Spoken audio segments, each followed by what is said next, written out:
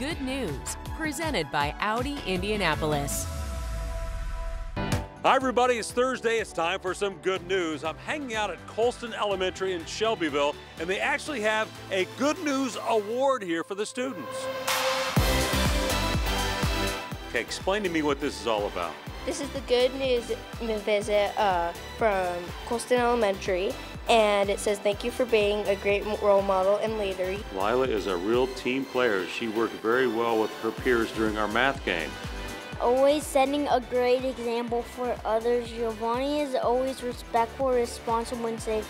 Great job. Weston comes in ready to learn each week. He's always helpful, respectful, responsible. I have a YouTube channel, What kind of YouTube channel do you have? uh, fishing. A big bass?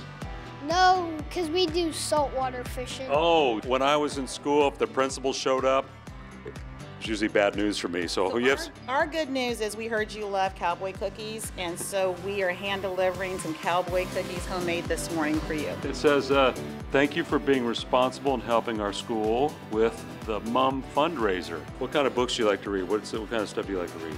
Uh, mainly comic books and Comic stuff books? Like that. Oh my gosh. Parker does a great job practicing and working hard every day. What'd you get an award for? This cowgirl was mighty helpful this morning. How does this make you feel, first off, to get that award? Happy. That's pretty cool, isn't it? You never give up, and you have a positive attitude, and you shine bright, and it helps you tackle any obstacle in your way. That's pretty cool.